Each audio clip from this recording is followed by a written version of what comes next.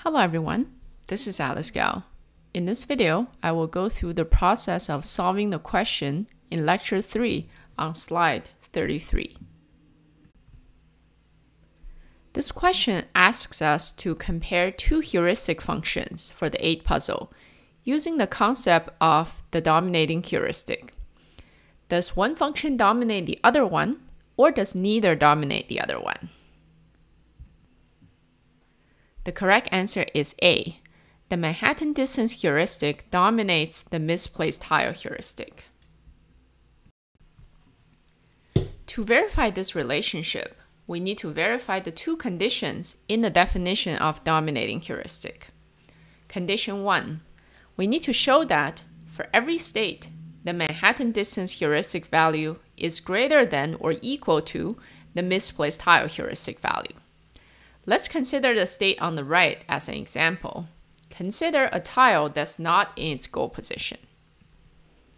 Since the tile is not in its goal position, the misplaced tile heuristic will add 1 to the heuristic value for this tile.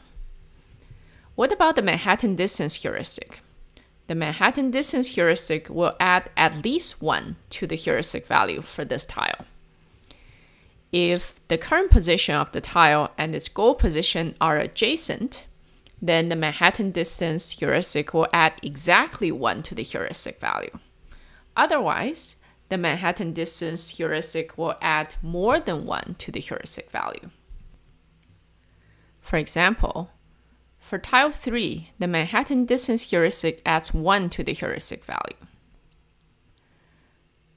For tile 1, the Manhattan distance heuristic adds 4 to the heuristic value. Therefore, for every state, the Manhattan distance heuristic value has to be greater than or equal to the misplaced tile heuristic value. Remember that it's possible for the two heuristic values to be the same. Consider the state on the left. Only one tile, tile 8, is out of place and its current position and its goal position are adjacent. For this state, the values of both heuristic functions are 1. Next, we need to verify the second condition. We need to find a state such that the Manhattan distance heuristic produces a strictly higher value than the misplaced tile heuristic. We already have an example, the state on the right. The Manhattan distance heuristic value is 16, whereas the misplaced tile heuristic value is 7. Therefore, there exists one state such that the Manhattan distance heuristic produces a strictly higher value than the misplaced tile heuristic.